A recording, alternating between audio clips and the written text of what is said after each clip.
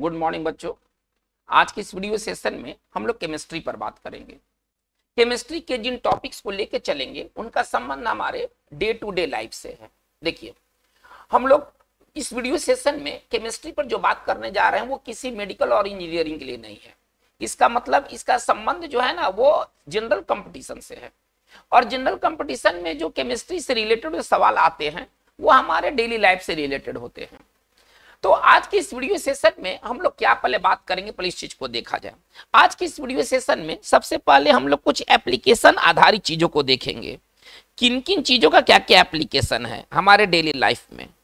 तो पहला हमारा जो सिनॉप्सिस होगा, है ना, सिनॉप्सिस में हम लोग क्या लेके चल रहे हैं? तो सिनॉप्सिस में हम लोग लेके चल रहे हैं कि पहला हम लोग एप्लीकेशन बेस्ड चीज़ों को देखेंगे।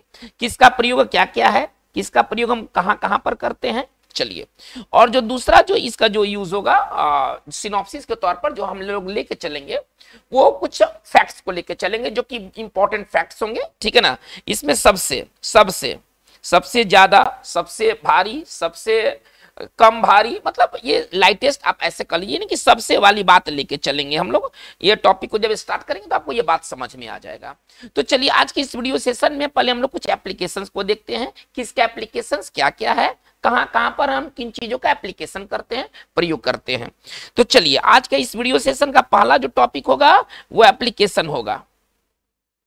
देखते हैं किसका एप्लीकेशन कहाँ कहाँ पर होता है। चलिए, सबसे पहले हम लोग बात करेंगे कि देखिए, जल की अस्थायी कठोरता, जल में दो प्रकार की कठोरता पाई जाती है, एक होता है टेम्पोररी और एक होता है परमानेंट तो जल की अस्थायी कठोरता को दूर करने के लिए हम लोग क्या यूज़ करते हैं? देखिए, जल की अस्थायी कठोरता को दूर करने के लिए पोटासियम क्लोराइड का प्रयोग किया जाता है, ठीक है ना? जल की अस्थायी कठोरता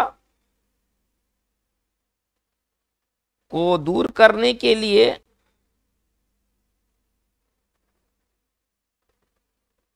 पोटासियम क्लोराइड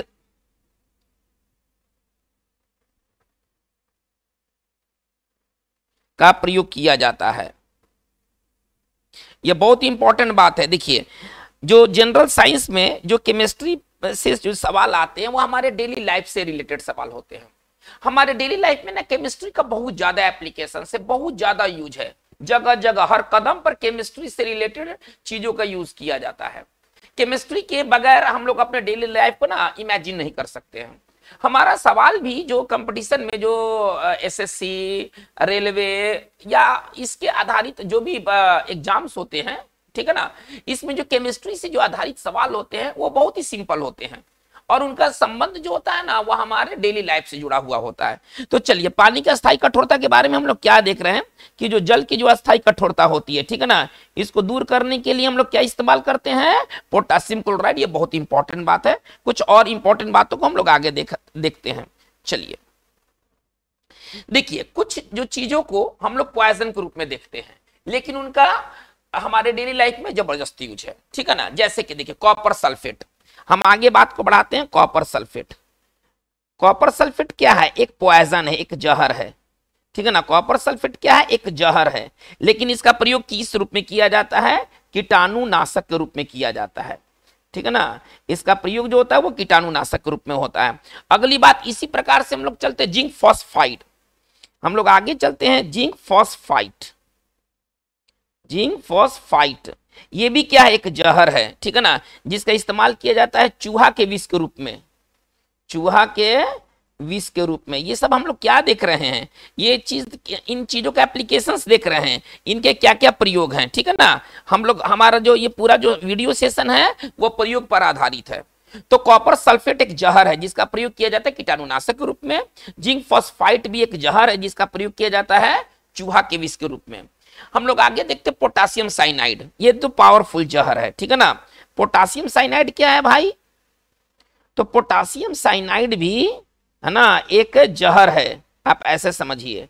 जिसका प्रयोग किया जाता है, पोटासियम साइनाइड एक बहुत पावरफुल जहर है। जिसका प्रयोग किया जाता है सोने एवं चांदी, है ना गोल्ड और सिल्वर सोने एवं चांदी के, ठीक है ना, विद्युत लेपन में इलेक्ट्रोप्लेटिंग में।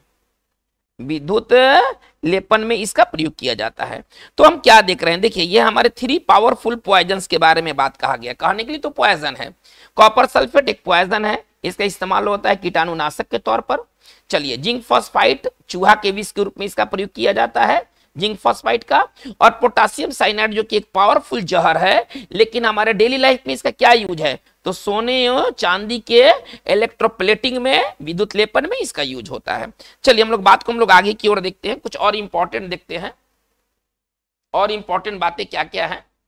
देखिए, हमारा जो श्वेत जो फास्फोरस है, ठीक है ना? इसको व्हाइट फास्फोरस भी कहते हैं, ठीक है ना? श्वेत फास्फोरस का प्रयोग, श्वेत फॉसफोरस का प्रयोग किया जाता है आतिशबाजी में, ठीक है ना? जो फायर क्रैकर्स होते हैं, आतिशबाजी में इसका प्रयोग किया जाता है। आतिशबाजी वाले सामानों में। आतिशबाजी वाले सामानों में इसका प्रयोग किया जाता है किसका? श्वेत फास्फोरस का। ये बहुत इंपॉर्टेंट है। श्वेत फास्फोरस इतना एक्टिव होता है कि हवा में खुद ब खुद जल जाता है। देखिए, दिया सलाई मैच बॉक्स के ऊपर जो लगा रहता है, वो रेड फास्फोरस होता है। और आतिशबाजी वाले मटेरियल में जो फास्फोरस डाला जाता है, वो श्वेत फास्फोरस होता है।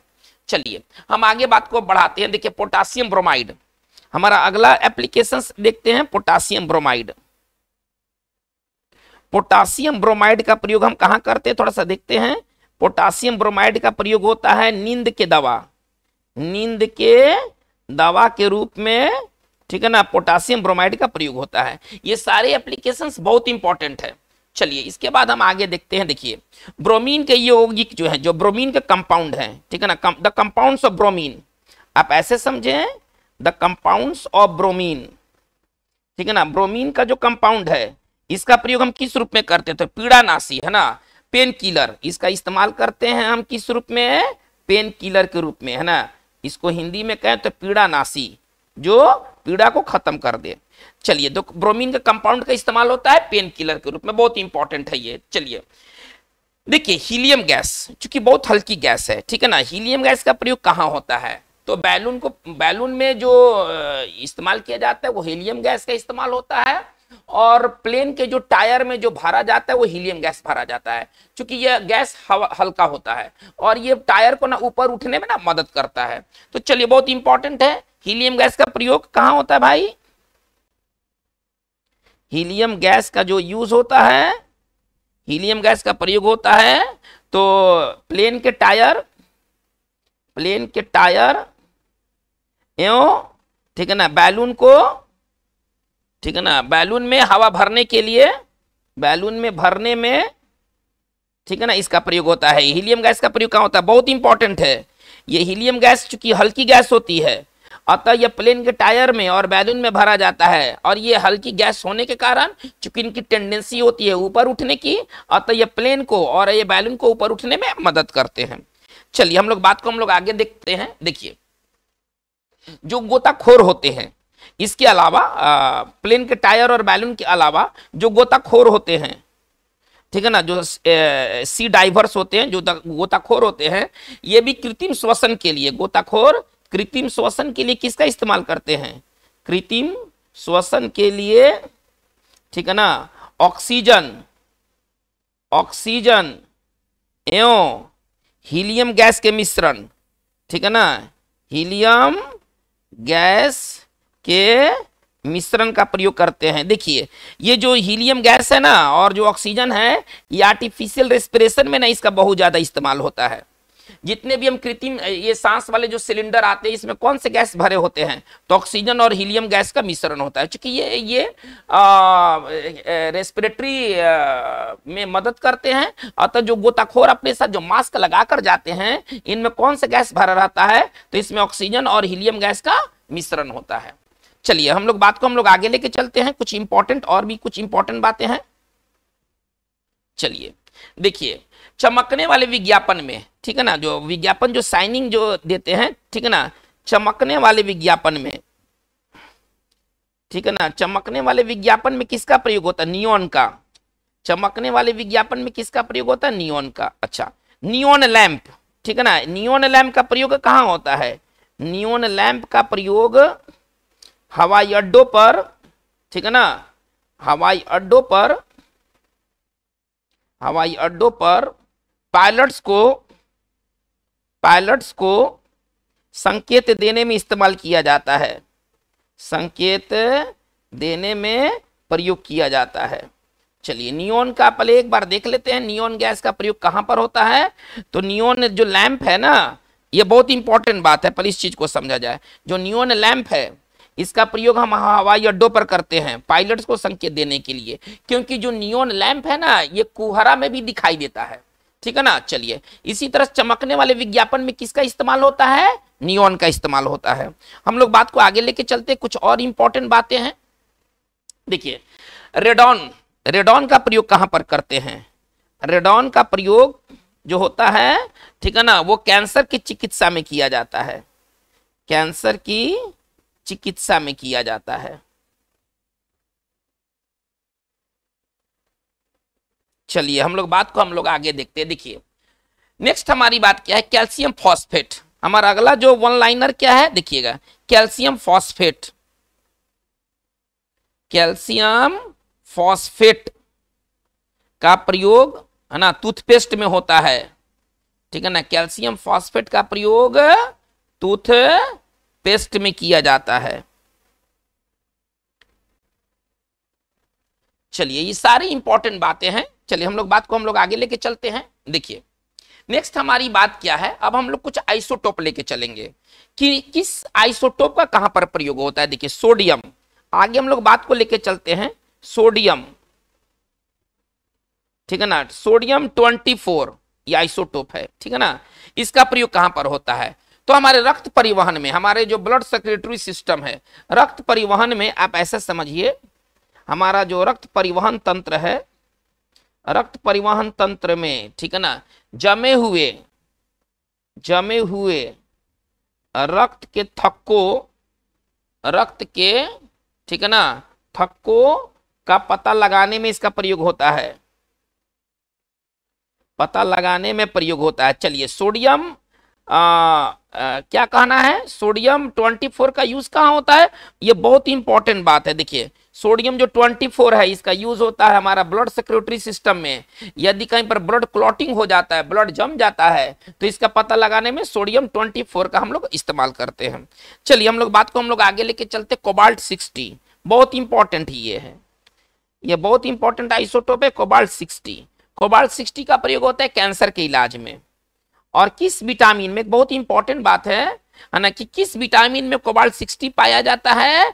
तो कोबाल्ट, सॉरी, कोबाल्ट धातु पाया जाता है तो ये vitamin B twelve, vitamin B twelve में कोबाल्ट पाया जाता है। ये बहुत इंपॉर्टेंट बात है, ठीक है ना? तो कैंसर के इलाज में कोबाल्ट 60 का यूज़ होता है। चलिए हम लोग आगे देखते हैं, आयोडीन, है ना? अब हमारा नेक्स्ट आइसोटोप जो है, वो है आयोडीन 31 है ना? आयोडीन 31 इसका प्रयोग हम कहाँ करते हैं? तो देखिए, अब आयोडीन होगा ज़ाहिर सी बात है कि इसका संबंध थायराइड से होगा। तो थायराइड संबंधी रोग और ब्रेन ट्यूमर के इलाज में, ठीक है ना? थायराइड थायराइड संबंधी बीमारी संबंधी बीमारी, ठीक है ना? एवं ब्रेन ट्यूमर के इलाज में इसका प्रयोग होता है। ब्रेन ट्यूमर के इलाज में इसका प्रयोग होता है। किसका? आयोडीन 31 का। ये बहुत इंपॉर्टेंट बात है। चलिए हम लोग बात को आगे लेके चलते हैं। चलिए, आर्सेनिक 131 हमारा अगला जो चीज़ है वो क्या है? आर्सेनिक है ना 131 इसका यूज़ हम कहा करते हैं? तो त्वचा संबंधी। इसका यूज़ हम करते हैं त्वचा संबंधी रोग के इलाज में। ठीक है ना, जो जो स्किन डिज़ीज़ होता है, उसके इलाज में ना आर्सेनिक 131 का प्रयोग किया जाता है। फिर आर्सेनिक चौहत्तर। चलिए आर्सेनिक चौहत्तर का इस्तेमाल किससे संबंधित है? तो ट्यूमर ट्यूमर से संबंधित जो इलाज होते हैं, थोड़ा इसको ध्यान से देखा जाए, ट्यूमर से जो संबंधित इलाज होते हैं, उसके इलाज में किसका प्रयोग किया जाता है? आर्सेनिक चौहत्तर का। चलिए, एस्ट्रोनसियम पचासी। अब हमारा अगला वर्ड है एस्ट्रॉन सियम पचासी। एस्ट्रोनसियम पचासी का प्रयोग किया जाता है बोन कैंसर। ना हड्डी के जो कैंसर होते हैं, बोन कैंसर के जाँच में इसका प्रयोग होता है। तो ये हमारे प्रमुख आइसोटोप्स हैं, जिसका इलाज हम लोग जिसका, सॉरी, जिसका प्रयोग हम लोग अपने डेली लाइफ में करते हैं। देखिए, अब जैसे कि आर्सेनिक आर्सेनिक तो वैसे है पॉइजन है, लेकिन इसका जो आइसोटोप है 131 इसका इस्तेमाल होता है त्वचा संबंधी रोग के इलाज में। अगर आप स्किन डिज़ीज़ से कोई पीड़ित है और अगर आप इसका इलाज करवाते हैं तो उसमें आर्सेनिक 131 का यूज़ होता है। चलिए, इसी प्रकार है आर्सेनिक चौहत्तर। आर्सेनिक चौहत्तर का जो प्रयोग होता है, वो ट्यूमर से संबंधित इलाज में होता है। स्ट्रॉन्सियम जो 85 है, इसका जो इलाज इसका जो प्रयोग होता है, वो बोन कैंसर के जाँच में होता है। चलिए, हम लोग कुछ और एप्लीकेशन के बारे में बात करते हैं। कुछ हमारे और एप्लीकेशन है। देखिए, हमारा अगला है जर्मेनियम। हम लोग आगे बढ़ते हैं। Germanium oxide. जर्मेनियम ऑक्साइड का जो प्रयोग होता है, ठीक है ना? इसका प्रयोग होता है एनेमिया के दवा बनाने में। एनेमिया का मतलब रक्त की कमी को एनेमिया कहते हैं। एनेमिया की दवा बनाने में इसका प्रयोग होता है जर्मेनियम ऑक्साइड का। चलिए, इसके बाद हम लोग आगे बात बात को लेके चलते। कुछ एप्लीकेशंस और मौजूद है हमारे पास। देखिए, जो मिट्टी में एसिड रेन के प्रभाव को खत्म करने के लिए फार्मर्स क्या यूज़ करते हैं? ठीक है ना? देखिए, उसमें एक बहुत इंपॉर्टेंट है सिलेक्ट लाइम ठीक है ना? सिलेक्ट लाइम का इस्तेमाल होता है है ना? बूझा चूना, आप ऐसे समझिए सिलेक्ट लाइम सिलेक्ट लाइम का प्रयोग होता है, जिसको हम लोग बूझा चूना भी कहते हैं, ठीक है ना? बूझा चूना, ठीक है ना? का प्रयोग किया जाता है मिट्टी में मिट्टी में, ठीक है ना? चलिए, एसिड रेन. एसिड रेन के प्रभाव को कम करने में, प्रभाव को कम करने में, ठीक है ना? किसका प्रयोग किया जाता है? सिलेक्ट लाइम का। चलिए, इसी प्रकार, थोड़ा ध्यान से सुना जाए इसको, ठीक है ना? देखिए, जिप्सम का प्रयोग किया जाता है। यदि, देखिए, यदि मिट्टी में यदि क्षार बढ़ गया है, क्षारत्व, ठीक है ना? जिप्सम का प्रयोग किसमें होता है? देखिए एसिड ड्रेन के प्रभाव को खत्म करने के लिए, है ना? अगर किसी मिट्टी में अगर एसिड ड्रेन ज़्यादा प्रभाव हो गया है तो वो क्रॉप बढ़िया नहीं होगा। तो मिट्टी से एसिड रेन के प्रभाव को खत्म करने के लिए हम लोग इस्तेमाल करते हैं सिलेक्ट लाइम का। जबकि जिप्सम का प्रयोग होता है है ना? अगर मिट्टी में अगर क्षार की मात्रा बढ़ गई है तो क्षारत्व को कम करने के लिए, ठीक है ना? जिप्सम का प्रयोग किया जाता है। तो जिप्सम का प्रयोग किया जाता है, ठीक है ना? मिट्टी में मिट्टी में क्षारत्व घटाने में, ठीक है ना? मिट्टी में क्षारत्व को घटाने में इसका प्रयोग किया जाता है। चलिए। तो बच्चों, ये इंपॉर्टेंट एप्लीकेशन हैं, जिसका संबंध हमारे कॉम्पिटिटिव एग्ज़ाम से है। चलिए, अब हम लोग बात करेंगे। अब हमारा जो सिनॉप्सिस में हम लोग जो दूसरा जो चीज़ लेके चले हैं, कि सबसे सबसे, है ना मैक्सिमम मिनिमम है ना, हम इन चीज़ों के बारे में बात करेंगे। ये भी बहुत इंपॉर्टेंट है। एग्जामिनेशन दृष्टिकोण से इससे काफ़ी प्रश्न आते हैं। ठीक है? चलिए, इसका भी कुछ इंपॉर्टेंट हम लोग पहलू देख लेते हैं। जो कि सबसे से रिलेटेड है। ये बहुत इंपॉर्टेंट है। आगे आने वाले एग्ज़ाम्स के लिए बहुत ही काम करने वाले हैं। देखिए, जो सबसे भारी धातु, सबसे भारी धातु कौन है? सबसे भारी जो धातु है, वो है यूरेनियम चलिए थोड़ा सा देखते हैं। और सबसे हल्की धातु कौन है? सबसे हल्की जो धातु है, वो है आपका लिथियम देखिए, थोड़ा ध्यान दिया जाए। सबसे भारी धातु में आता है नाम यूरेनियम का। सबसे जो हल्की जो धातु है, उसमें नाम आता है लिथियम का। लिथियम सबसे हल्की धातु है। जबकि सबसे हल्का जो तत्व है, या सबसे हल्का धातु आप इसको कह लीजिए, ठीक है ना? सबसे हल्की अधातु। अधातु कह लीजिए अथवा तत्व कह लीजिए, ठीक है ना?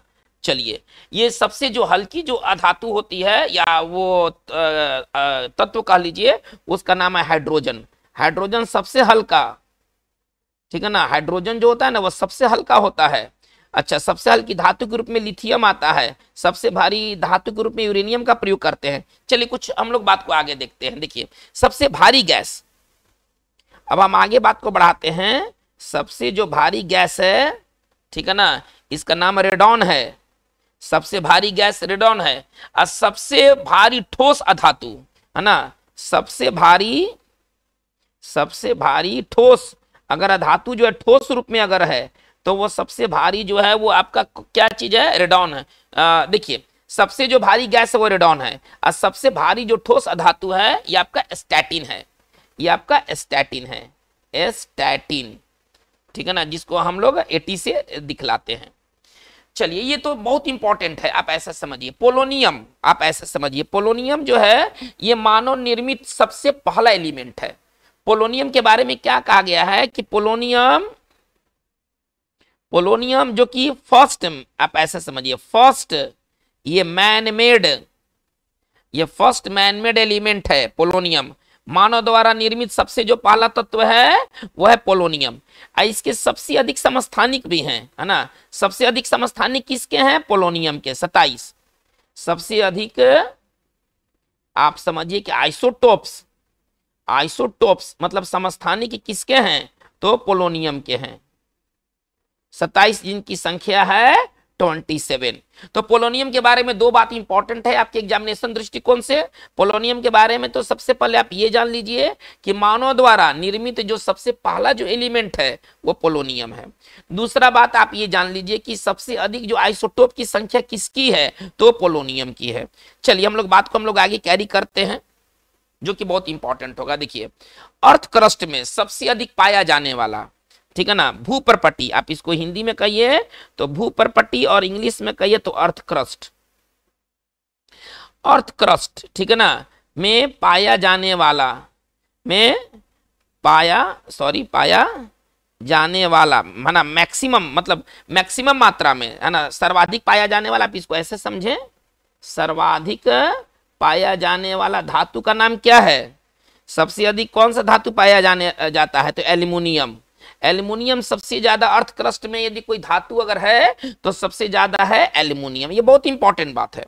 हालाँकि सबसे ज़्यादा ऑक्सीजन होता है, लेकिन चूँकि ऑक्सीजन धातु नहीं है तो अगर सबसे, अगर ज़्यादा धातु पूछे तो इसका आंसर एल्यूमिनियम होना चाहिए। चलिए, वायुमंडल में आप ऐसे समझिए। अब हमारा अगला बात है वायुमंडल में सबसे अधिक ज़्यादा पाया जाने वाला तत्व कौन है? वायुमंडल में सबसे अधिक पाया जाने वाला, पाया जाने वाला तत्व क्या है? भाई तो वो नाइट्रोजन है। ठीक है ना? नाइट्रोजन जो है, वो वायुमंडल में सबसे ज़्यादा पाया जाता है। और मानव शरीर में, मानव शरीर, आप आप ऐसे समझिए। मानव शरीर में सबसे अधिक, है ना, पाया जाने वाला, पाया जाने वाला तत्व कौन सा है? तो ऑक्सीजन है। मानव शरीर में सबसे ज़्यादा क्या मिलता है? तो ऑक्सीजन मिलता है। ये बहुत इंपॉर्टेंट ये सारी जो बातें हैं ना, आपके एग्ज़ाम्स के लिए सुपर इंपॉर्टेंट है। चलिए, अब हम आगे बात को देखते हैं। सबसे कठोर धातु कौन सा है? सबसे कठोर धातु सबसे कठोर जो धातु है, वो आपका प्लेटिनम है। थोड़ा ध्यान से इसको देखा जाए, सबसे जो कठोर धातु है प्लेटिनम है।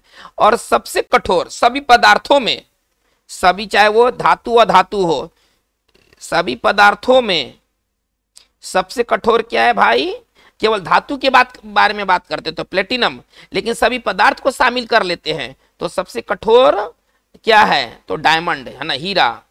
जो सबसे कठोर है वह है हीरा।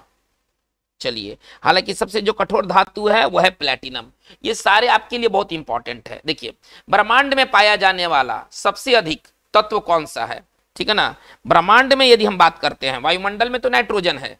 देखिए, वायुमंडल के बारे में बात करें तो वायुमंडल में सबसे अधिक क्या पाया जाता है? नाइट्रोजन पाया जाता है। ह्यूमन बॉडी में सबसे अधिक क्या पाया जाता है? ऑक्सीजन पाया जाता है। अगर हम बात करते हैं भू परपटी में अर्थ क्रस्ट आप ऐसे समझे अर्थ क्रस्ट में सबसे अधिक क्या पाया जाता है? सबसे अधिक पाया जाता है ऑक्सीजन। थोड़ा सा इसको समझा जाए। इसके बाद आता है सिलिकॉन और इसके बाद आता है आपका एल्यूमिनियम। ये ये देखिए, क्रम देख लिया जाए। अर्थ क्रस्ट भूप्रपटी। आप इसको हिंदी में कहिए तो भूप्रपटी। भूप्रपटी में सबसे ज़्यादा क्या पाया जाता है? आप ऐसा समझिए, ऑक्सीजन पाया जाता है। इसके बाद सिलिकॉन पाया जाता है। इसके बाद एल्यूमिनियम पाया जाता है। लेकिन एल्यूमिनियम क्या है? धातु है। है ना? जबकि ऑक्सीजन धातु नहीं है। अब ब्रह्मांड के बारे में बात करते हैं कि ब्रह्मांड में सबसे अधिक पाया जाने वाला तत्व कौन सा है भाई? ब्रह्मांड में सबसे अधिक पाया जाने वाला जो तत्व है, वो आपका है हाइड्रोजन। ब्रह्मांड में सबसे ज़्यादा क्या मिलता है? हाइड्रोजन मिलता है। तो बच्चों, ये बहुत इंपॉर्टेंट ये सीरीज़ है आपके सभी तरह के परीक्षाओं के लिए। हर तरह के परीक्षाओं में ये सब बातें पूछी जाती है। देखिए सबसे अधिक है ना एक्टिव मेटल क्रियाशील मेटल सबसे अधिक क्रियाशील जो मे, मेटल है है ना धातु है वो है आपका सीजीएम जो सबसे अधिक जो एक्टिव है वो है सीजीएम चलिए अब हम बात इसके बारे में आगे बात को लेकर चलते हैं। देखिए वायुमंडल में सबसे ज़्यादा पाया जाने वाला अक्रिय गैस इनट गैस। अब हमें चलना है आगे। वायुमंडल में सबसे अधिक पाया जाने वाला, चलिए इनट गैस या अक्रिय गैस उसको आप कह ले। अक्रिय गैस अथवा इनट गैस वो कौन सा है भाई? आर्गन। ठीक है ना? इनट गैस कौन सा है? तो वो आर्गन है, जो कि वायुमंडल में सबसे अधिक पाया जाता है आर्गन ठीक है ना? आर्गन एक इनट गैस है और इनट गैस में सबसे अधिक आर्गन पाया जाता है। चलिए हम लोग बात को आगे बढ़ाते हैं। देखिए, सबसे अधिक विद्युत ऋणात्मक इलेक्ट्रोनिगेटिव आप ऐसे समझिए, है ना? सर्वाधिक विद्युत ऋणात्मक। सर्वाधिक जो विद्युत ऋणात्मक है, विद्युत ऋणात्मक जो है, वो आपका क्या है? फ्लोरीन है। है ना? मोस्ट ये इलेक्ट्रोनिगेटिव है, वो है फ्लोरीन है। और सर्वाधिक विद्युत धनात्मक। चलिए, सर्वाधिक विद्युत धनात्मक कौन है? चलिए, थोड़ा इसको भी देख लिया जाए। इसका नाम है फ्रेंसियम। इसका नाम है फ्रेंसियम। फ्रेंसियम सबसे अधिक विद्युत धनात्मक है और फ्लोरीन सबसे अधिक विद्युत ऋणात्मक है। चलिए सर्वाधिक चालक, अगर कहें कि सर्वाधिक विद्युत चालक, सबसे ज़्यादा सर्वाधिक विद्युत चालक, चलिए, ये तत्व क्या है भाई? सर्वाधिक विद्युत सर्वाधिक विद्युत चालक तत्व आपका है ना एजी जिसको आप कहते हैं सिल्वर। चलिए, हम लोग बात को आगे बढ़ाते हैं, देखिए, विद्युत का सबसे अच्छा सुचालक आधातु आधातु एक्चुअली बैड कंडक्टर होते हैं। लेकिन अगर कहा जाए कि विद्युत का सबसे अच्छा सुचालक अधातु कौन सा है? तो वह है ग्रेफाइट। नहीं, विद्युत का, चलिए हम लोग बात को आगे लेके चलते हैं। विद्युत का सबसे अच्छा सबसे अच्छा सुचालक क्या? अधातु। अधातु एक्चुअली बैड कंडक्टर होते हैं। लेकिन यदि कोई गुड कंडक्टर है, सबसे अच्छा तो वह है ग्रेफाइट। वह है सॉरी वह है ग्रेफाइट। वह है ग्रेफाइट चलिए, हम लोग बात को आगे बढ़ाते हैं। देखिए, हीलियम का सबसे कम बॉइलिंग पॉइंट और टंगस्टन का सबसे अधिक बॉइलिंग पॉइंट होता है। सर्वाधिक बॉइलिंग पॉइंट किसका होता है? ना, सर्वाधिक जो बॉइलिंग पॉइंट किसका होता है? तो टंगस्टन का। आप ऐसे समझे और सबसे कम बॉइलिंग पॉइंट सबसे कम बॉइलिंग पॉइंट वाले कौन होते हैं? तो हीलियम होता है। ठीक है ना? सबसे कम सबसे कम बॉइलिंग पॉइंट किसका होता है? तो हीलियम का होता है। चलिए, हम आगे बात को बढ़ाते हैं। सबसे कम मेल्टिंग पॉइंट किसका होता है? सबसे कम जो मेल्टिंग पॉइंट होता है यह मरकरी का होता है।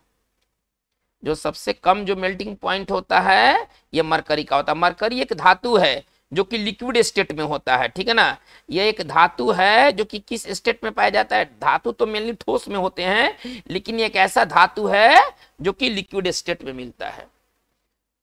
तो बच्चों, आज के इस वीडियो सेशन में बात इतना ही रहा। इसमें हम लोगों ने दो चीज़ों के बारे में ज़्यादा फोकस किया। पहले तो हम लोगों ने कुछ एप्लीकेशंस को देखा, जो कि एग्जामिनेशन दृष्टिकोण से बहुत इंपॉर्टेंट है। दूसरा कि हम लोगों ने देखा कि सबसे अच्छा सुचालक सबसे ज़्यादा बॉइलिंग पॉइंट किसका है? सबसे ज़्यादा, सबसे कम मेल्टिंग पॉइंट किसका है? सबसे भारी धातु कौन है? इन सारी चीज़ों को देखा जो कि मतलब जीके या जीएस के पेपर में ज़रूर और ज़रूर आते हैं। तो ये केमिस्ट्री का भी वीडियो सेशन आपका जारी रहेगा। यह आज हमारा ये डे वन का क्लास था। लेकिन आगे आपको और भी इंटरेस्टिंग वीडियोस मिलने वाले हैं। आप इस चैनल से जुड़े रहें। यदि आप नए हैं और चैनल को सब्सक्राइब नहीं किया है तो प्लीज़ आप इसे सब्सक्राइब कर ले। Thank you very much